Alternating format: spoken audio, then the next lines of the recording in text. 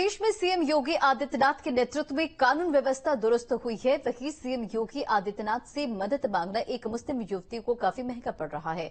मज़हब के ठेकेदारों ने इस युवती को सीएम से मदद मांगने और गेरुआ हिजाब पहनने पर इस्लाम से खारिज कर दिया है। कानपुर की रहने वाली इस युवती के को शहर काजी ने न केवल फटकार लगाई, बल्कि उसका हुक्का पानी सब बंद करा दिया है। ये मेरे ख्याल में ये नाइंसाफी है।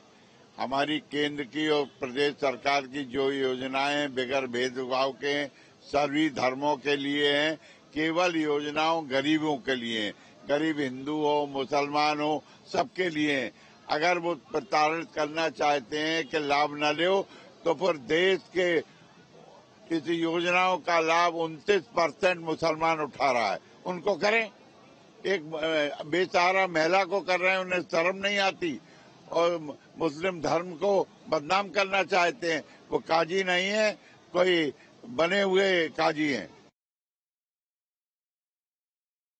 पारिवारिक विवाद में एक मुस्लिम युवती को सीएम योगी आदित्यनाथ से मदद मांगना भारी पड़ रहा है। दरअसल, धर्म के ठेकेदारों ने इसके बाद उसे इस्लाम से खारिज किए जाने की बात कही है। कानपुर में शहर काजी ने कहा कि तुम्हें अब इस्लाम से खारिज किया जाता है।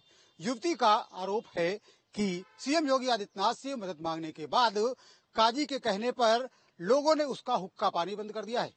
उसके घर वाले पहले से ही उसकी मदद नहीं कर रहे थे।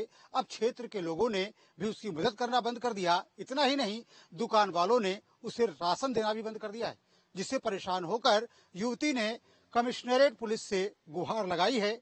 वहीं कानपुर के सांसद सत्यदेव पचौरी का कहना है कि धार्मिक भेदभाव फैलाने वाले ऐसे काजी के खिलाफ कार्रवाई की जानी चाहिए।